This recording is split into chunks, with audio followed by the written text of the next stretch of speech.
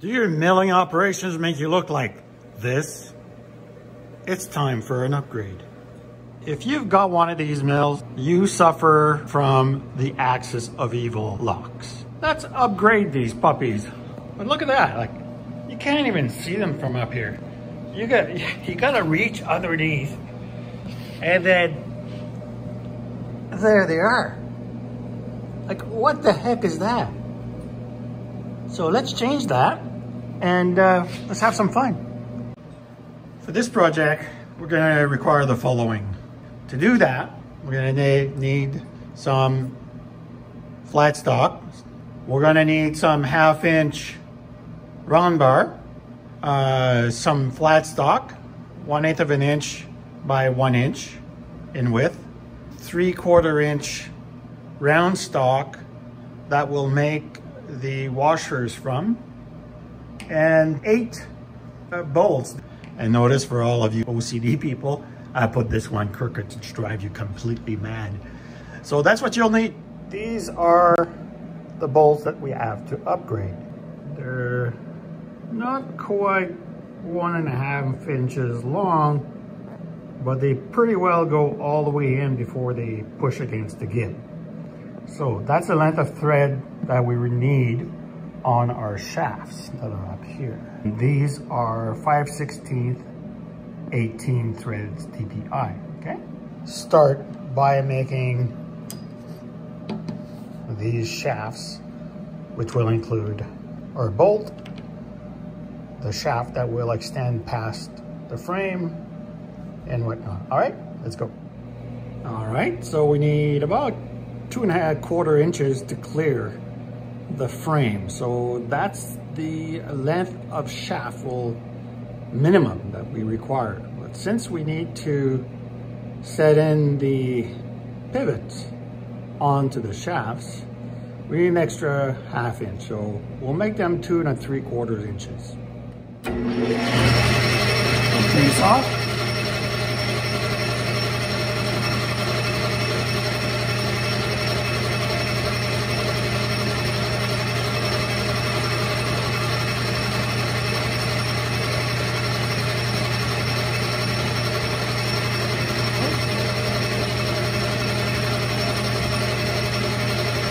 little touch up.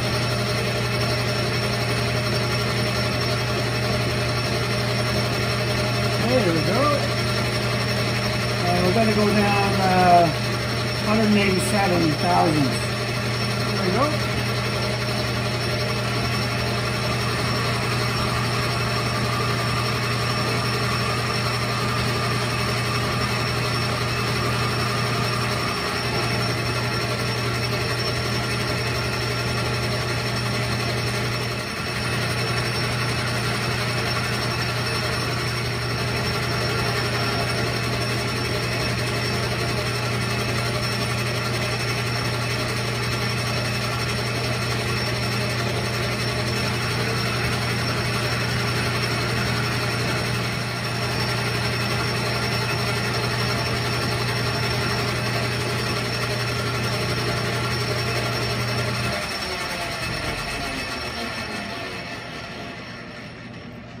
Do a quick check.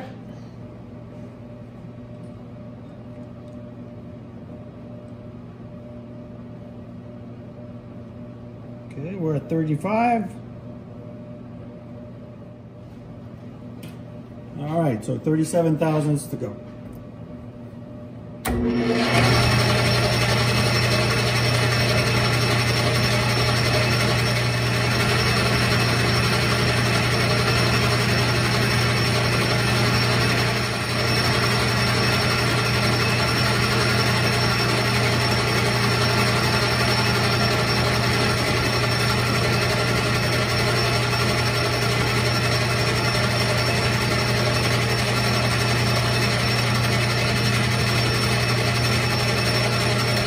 Got a one eighth of an inch undercut at the end.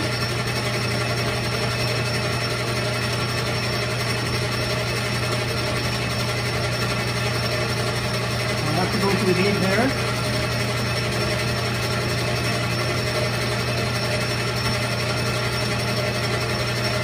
There we go.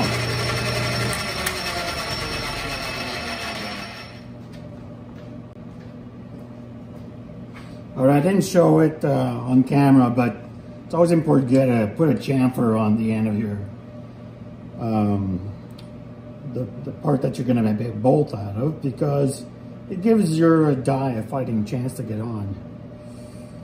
Put some oil, cutting oil. We'll use this uh, chuck to give us some uh, a chance to get on straight. Once we get started, you're all right. And there you go, my friends. We reached the end. Okay. All right, let's let's put uh, a little chamfer at the end.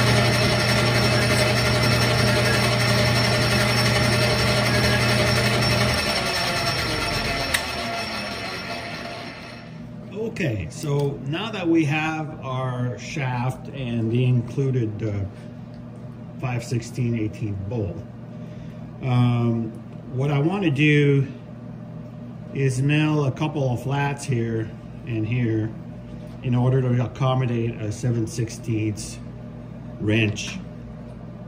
And the reason for that is I need to put this, you know, screw this into the, the case, the, the, the mill, and determine where this, the bolt is going to sit at a vertical stance so that later on we know where to put the pivots. Okay, so we're ready to mill. I've already uh, made the appropriate measurements. Essentially what we're going to do is take 31 thousandths off the top and then turn the piece around and do the exact same thing uh, on the other side. And that'll give us uh, the difference, which will be a 7.4, 716 wrench. All right, here we go.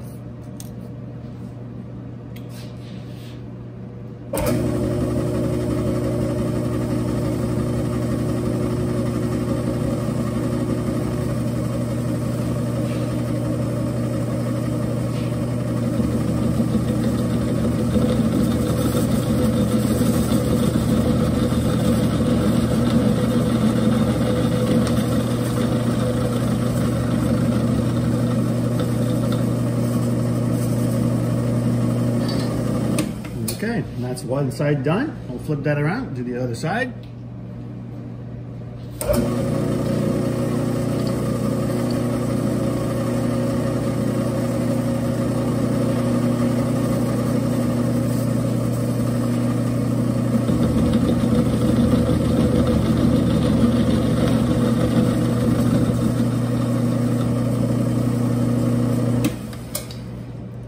There you have it. Okay, and just to show you, it's not rocket science. Just eyeball it, there you go. It fits, now we can do our thing. So let's check that out.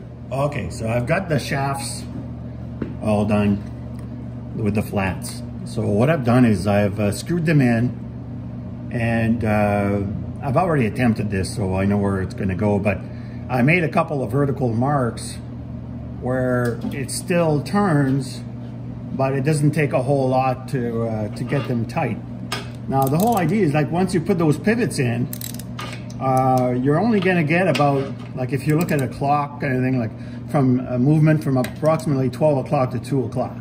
So that's where you wanna, you know, gauge this up here. See, like imagine, imagine the connecting rod going like this. It's not gonna go that far. So when I go like this, all of a sudden I'm nice and tight on the handle. And if I bring it back to the 12 o'clock position, I'm able to move the axis. That's what you want. Okay, so now we're on to our pivot. We have two pivots, the front one and the rear one.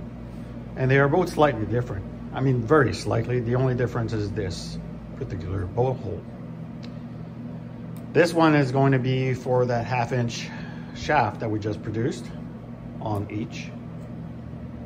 This is going to be the two holes for 1030 seconds or 1032 TPI uh, bolts, which will hold the um, connecting rod. And this one additionally will uh, be a bolt of the same size as this one, which will uh, also serve to hold the, the handle, which we'll use to lock the axis case. So now it's time to drill some holes and uh, of course uh, uh, to try to avoid using nuts on the other side to hold the bolts. Simply going to um, thread these holes at, on the bottom side. And then of course later on we have to put a slit on both of these uh, underside of the pivot uh, in order for the connecting rod, rod to slide inside this pivot. All right, there you go. Okay, so I've drilled all my holes and uh, this one's a half inch. This is the number 21 drill bit. And I did a countersink on the top half of the piece so that uh, when I do the thread, it's gonna be only on the other side. Remember, there's gonna be a slit here on the bottom of these pieces. In any case, all my bits, my uh, all my parts fit nicely. But um, there's one thing I didn't mention earlier. The set screw, move the camera for you. There's a set screw that has to go on each side of these pieces to hook up, you know, to, to uh, screw onto the shaft. In my case, I've put them on the outside of the parts so that I wouldn't have difficulty screwing them in. I suggest you uh, consider doing that as well.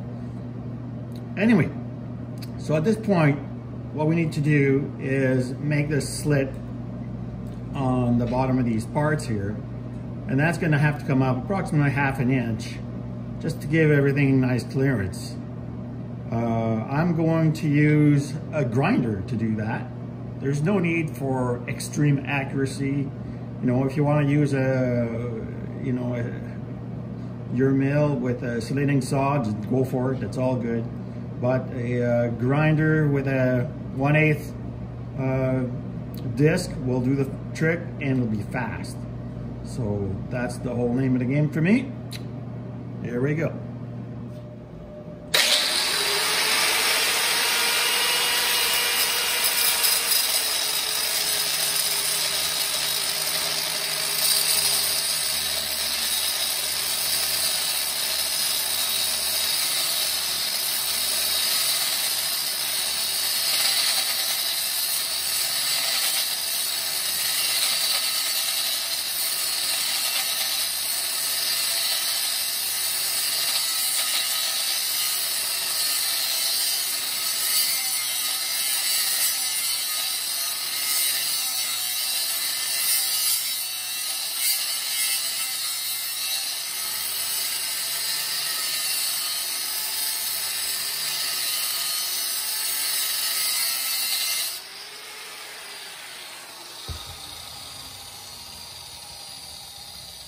Just like that.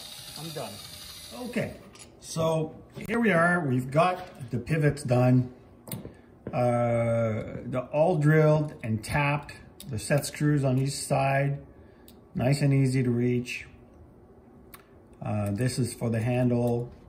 And of course, we need that connecting rod. So I've made one. This is basically what you need to do. Uh, put your flat stock in here, mark for your holes, drill your holes, and then don't forget to do this. Otherwise, as this rotates, you know, goes like this and whatnot, it needs to uh, to be able to conform to the, to, to the shape. So that's what you need to do. Now, as I go in pretty well any project, I keep revising what I do, and sometimes I figure out that I've done some real bonehead moves or created some extra work for myself. Uh, and in this case, I just realized I didn't have to tap these holes. I don't need washers to hold them in or lock rings in the back or any such thing. Because uh, quite frankly, these set screws are holding perfectly fine. And so why give myself additional work? There's no need. Like if you really wanted to get gung-ho, you could mill some flats here, little flats, for them to sit in. But honestly, there's not a force, a lot of force of being applied to this. So uh, that would be completely unnecessary. So at this point, all we need is put the connecting rod in place, screw it in, screws my hands, but it's this simple. And it doesn't need to be overly tight here because the uh, the holes in the connecting rod are oversized, so they don't actually thread into the, the screw, right? There you go, just snug, just so that screws don't come loose. And now we need our handle to go out here. And uh, I've already figured out that uh, it's gonna clear the ways, you know, because the handle's at the bottom. So it's not an issue at all. Um, that 12 to 2 o'clock range in order to lock the axis is perfectly fine. Even if you had to give it a little more of a tug, uh, there's plenty of room for it. So let's make a handle. Okay, so there's my handle. I just used a uh, piece of scrap that I found, put a red hot, forged a flat spot on it, bent it. So I've got about a six inch uh, uh, length from the bottom part of that. That's about two inches of flat and of course the angle takes up another inch and a half or whatever. But uh, it works perfectly. So this was really simple to make. Um, and look at this. Uh, it locks really well. Like this is the end of its range. And there you go. This is nice and loose. So let's just uh, test it out for you so you can actually see. Okay so as you can see, it moves freely. And a little tug of the hand, and she's locked, like she's not going anywhere. There's my backlash. so that's it, and uh, you know, no more dirty hands. So please go ahead and make this thing, and uh, hopefully it works out for you. Don't wait as long as I did. Take care, everyone. Bye-bye.